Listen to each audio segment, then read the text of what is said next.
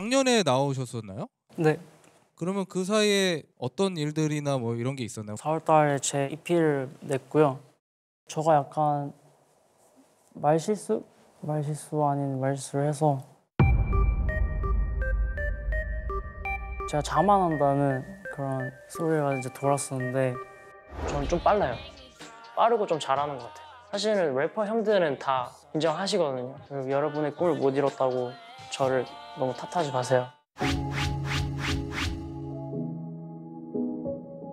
악플도 많이 좀 그때 이후로 너무 많이 받아서 그냥 제가 자, 저를 더 힘들게 했었던 것 같아요. 집에 저를 방치해두고 그냥 계속 그 댓글을 보고 있고 아, 그때는 제가 어렸었던 것 같아요.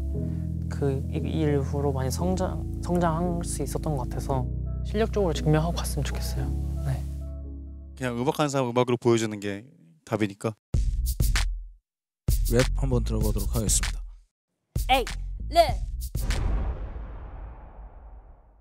Yeah, I'm back. Come back, season to bet and pay. I know they talk about me, but I don't give a. sh- You know my style, 기복 없는 실력. 기본기부터 배워 물어봐. Who's the new king of this game? My day no battle me, so I be kicking like I'm Biggie Smalls ran I back in my stool, bad boom. Can you feel it? This a f- all the haters. 이미 난 너 ain't to something.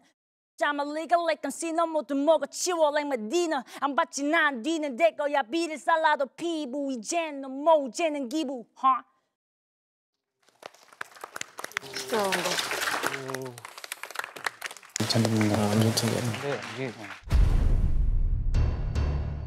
저희가 이렇게 막 보는 기준에서는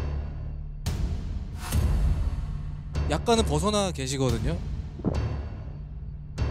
어.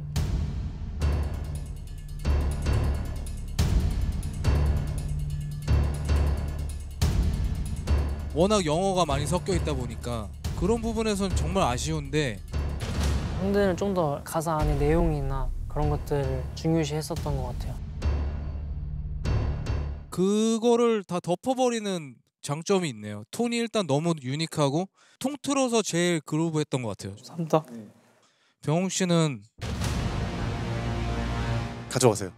가져가세요. 뭐,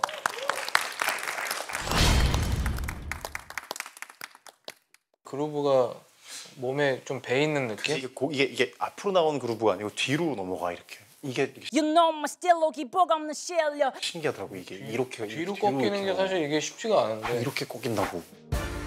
조금 다른 저의 모습을 보여드리고 싶은 기차가 됐으면 좋겠어요.